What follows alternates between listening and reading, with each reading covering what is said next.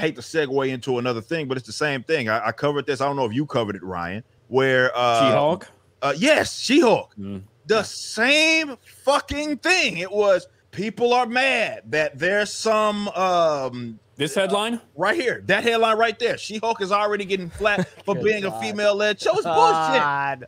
It's bullshit. It's the same fucking thing, man. Is that that Star Wars is doing that? This is out of the playbook. Same fucking thing. It's unbelievable that they keep running this script and they think that it's going to work. It's like trying to shield themselves from criticism. You want to see something interesting, Ripa? You know, because because I, I think I watched part of your video where you were talking Yeah, about I was this, trying right? to go to the link, and it You turned. What, it turned out it was an old one, wasn't it? It's an article from 2019. Wow, man, these guys are Three fucking amazing, years old, they're saying She-Hulk TV series accused of pandering to the left and squeezing out male heroes. This is like the basis on which they're writing these articles to reach for whatever they can. And something else that's interesting that I found out, we know that this got like massive backlash. Yeah. This kind of ratio on the Marvel YouTube channel, I don't think we've ever seen anything No. like that. 400,000 to 700,000. That is good, guys. right? It's cute. Ca- Gary, have we ever seen a backlash on that level for a Marvel property? No, oh, I went No. and checked the Eternals trailer and the Ms. Marvel trailer, and it's it, no, it's not. th- There's been like a hundred thousand dislikes, but not four hundred thousand dislikes. And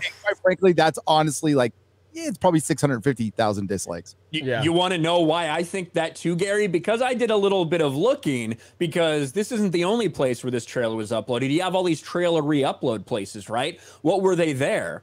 Movie trailer source 21 down Jesus to Christ. 4.8 Oof. up. That's One bad. media Holy 31 shit. down to 8 up. Uh huh. Uh movie coverage 30 down to 6 up. Uh huh. KinoCheck.com 15 down to 5 up. This shit's dead on Entertainment. Tonight 50k down to 11k up. This there is massive backlash. This is not about it being a woman. Yeah, guys, remember all that backlash to the female superhero Wonder Woman? Remember all those sexists out there that came out? They're still here for She-Hulk. It's the same Jesus. thing, man. And when when we were criticizing Rey, right? What were we? We were misogynists then. Now that we're criticizing Moses Ingram, black is higher up on the diversity ladder, the oppression ladder than white woman. So now we're racist. Oh it- my it's just always Well- going to be something else to defend and deflect. Marvel fans who read the comic books, I know we're a dwindling number. She Hulk is one of our favorite characters. I've said, I've said, I've talked, I talk about Yes. tokenism Female all the characters, time. characters. I've said that of all the tokenism and all the tokenized characters, the one character that I said that was that I said was tolerable and my, and my favorite tokenized character was She.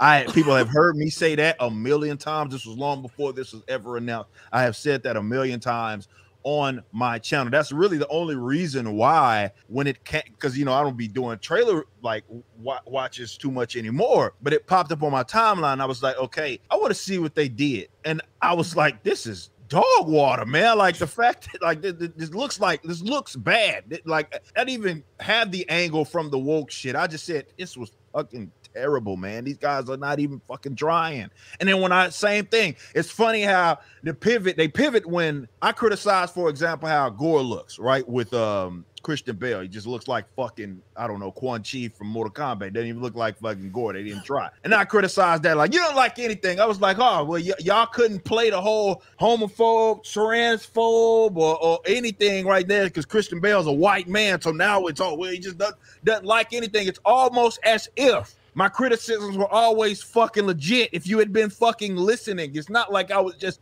criticizing shit for the sake of being criticizing of things. These things are bad. Marvel is putting out bad property, man. Same thing goes for really everything under the Disney umbrella. And these goddamn consumers, man, these pigs expect you to just eat everything it is that they put out there because they like to assume that Disney or Marvel or Star Wars can do any wrong. It has to be something wrong with us because we're criticizing, not that they're putting out bad shit. They are the cool thing. We need to support the cool thing, or we will miss out on the cool thing and won't be part of the cool thing, even though we don't really watch it or buy it. We bought a pop vinyl once, so that makes us part of the cool thing. That's what they're doing right now. That is the current MCU stan consumer. And I, I know I get called out for like my toys, but like, yeah, I bought shit that was really fucking cool. That was Yep. really cool. I was a fan for uh, five decades of Yeah. really cool shit. The way Lord of the Rings fans love Tolkien, that's how Eric and I feel about the source material in Marvel up to a certain point. I would say up to about probably 2015, maybe. Yeah, 14. That's when it went fucking way That's when it went crazy. That went right after Disney got a hold of it and gave it a couple of years, and Disney fight it. Those were the stories of my life that I read my entire fucking life. Same with Eric. Same with a lot of people out there. Yeah, we actually gave a shit about it, and we thought, hey, this company that owns Marvel might get this stuff right. They did in the beginning Yeah. before Disney got there. You know, they brought in Stan Winston, made a pretty fucking awesome Iron Man costume that looked like Iron Man. And they got a guy who looked like Tony Stark to play Iron Man. Wow. All of a sudden, Iron Man's an A list character from being a C list character. So, yeah, we had, you know, we had standards, we had expectations. And then Marvel got lazy. That's not our fault.